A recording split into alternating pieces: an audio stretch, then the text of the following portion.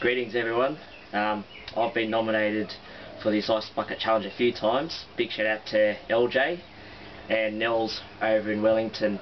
Uh, earlier this morning I was nominated by the great Glenn Barlow of Positive Resolutions and Nan's Tarps fame and he said that I could step up to the plate and do it. So I'm going to do this one for you, Glenn.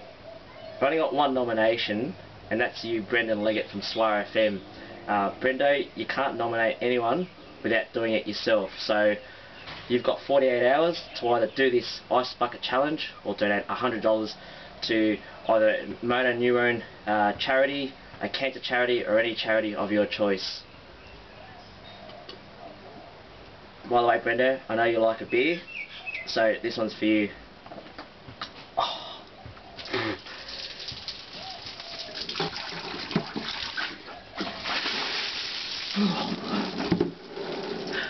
You're next, Brendo.